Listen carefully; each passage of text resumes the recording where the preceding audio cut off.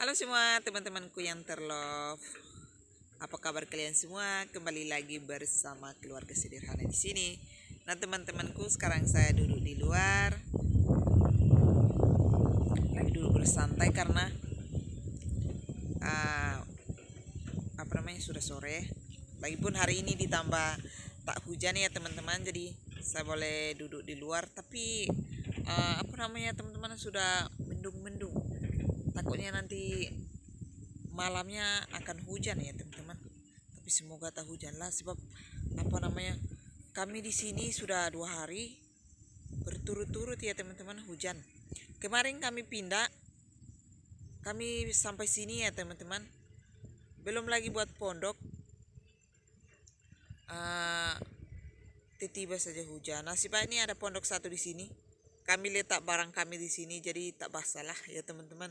Tapi kalau tak ada pondok ini memang habis kami lah. Nah, kalau kami basah tak apalah. Baju-baju kami tempat tidur kami ya teman-teman. Memanglah tapi nasib baik sini ada pondok jadi senang sedikit lah. Kami sampai sini kami pikir nak buat pondok ke mana kami cari jaringan dulu. Bawah sana ada air bawa air ya di sana ada air ya teman-teman. Tapi mau memilih mau mandi dekat kah atau mau milih ada lu dua? Ada mau ada jaringan kah atau mau mandi dekat? Air kami memilihlah untuk ada jaringan walaupun pergi mandi jauh tak apalah sebab kalau uh, pergi mandi boleh bawa motor ya. Tapi kalau jaringan takkan malam-malam naik atas sini ya teman-teman. Jadi kami buat pondok di belakang sana ya. Jadi tadi malam eh bukan tadi malam hujan jadi kami mandi di uh, pondok saja. Kami tak ada air dan kami mandi air hujan tadi malam. Kalau uh, yang hari apa ya kami sampai hari Selasa.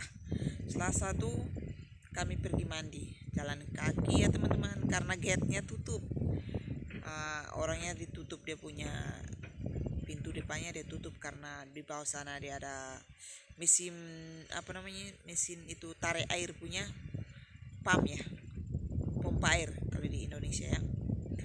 Jadi dia takut uh, orang ambil jadi dia tutup gate-nya. Jadi kami boleh jalan kaki ya boleh lalu situ tapi bawa motor tak boleh.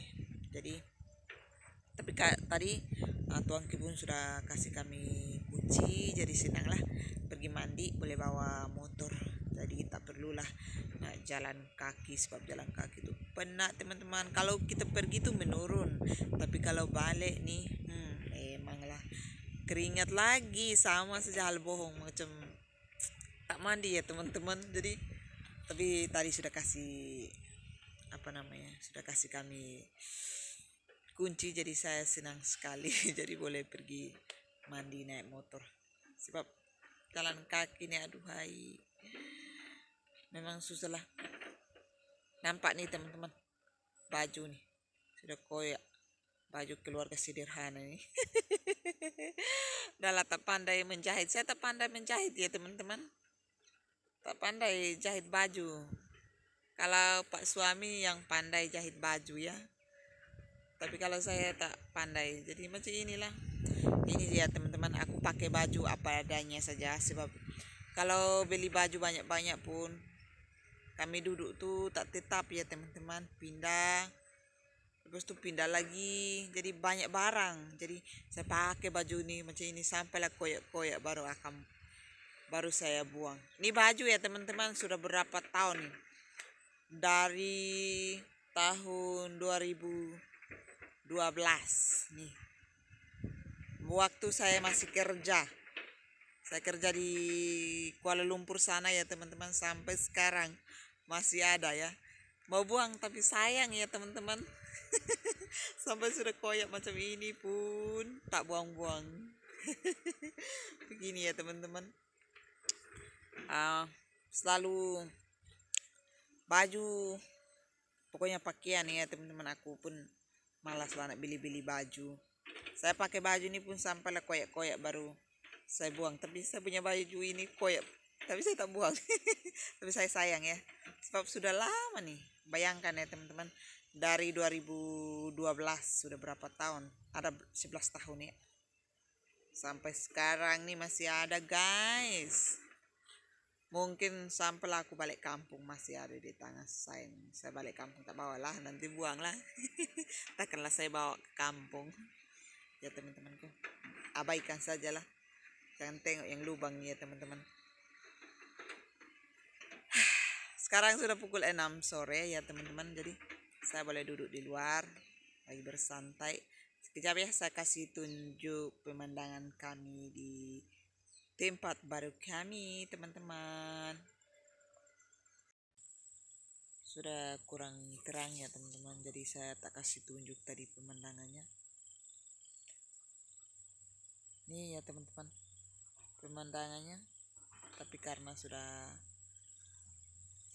mau gelap sudah setengah tujuh ya teman-teman. Lagi tambah mendung sudah mau hujan ya teman-teman. Jadi uh, kurang jelas ditambah juga kamera saya tak cantik.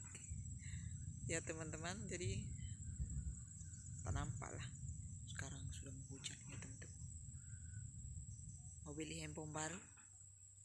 Tapi takutnya nanti balik tuh ribet lah. Mau daftar uh, apa namanya? Dia punya email ke apa namanya?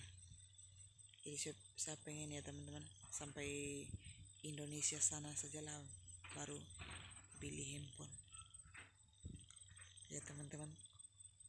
Jadi saya sekarang pakai handphone apa adanya saja lah malas lah aku sampai sana nak susah-susah nak kasih itu. Ada ada saya punya adik ipar baru-baru dia kirim HP ya teman-teman. Dia pilih handphone yang tak tahu handphone apa ya. Pokoknya satu ribu lebih. Lepas itu dia sampai kampung sana. Memang dia daftar di di daftar email itulah di apa namanya di bandara. Tapi sampai sana tak boleh pakai juga. Padahal dia bayar dia bayar cukai ya. Tapi sampai sana tapi tak tahulah karena orang yang bawa ya teman-teman. Dia, titip sama orang kita pun tak tahu apakah orang itu kasih daftar kah tidak kan. Eh dia sampai sana tak dipakai sayang lah handphonenya. Tak lah beli kira mahal lah dia beli kan. Kalau di Indonesia ke sana kan dia beli 1600 kah. 600 lebih lah mungkin. 1600 lebih. Kan kalau uang kalau uang Indonesia kan sudah 5 juta ya teman-teman. Kan sayang uangnya kan. Coba kemarin dia kirim saja uang. Sampai sana baru mamanya dia kirim. Bukan buat mama dia ya. Dia buat abang dia. Coba sampai sana baru dia ada kirim uang saja biar orang yang di sana beli. Ini dia beli dari sini kan sayang handphone.